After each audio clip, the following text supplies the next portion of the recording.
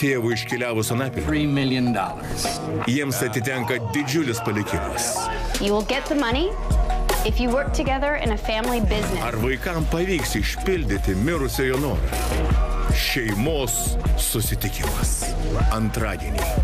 10.30 per TV3.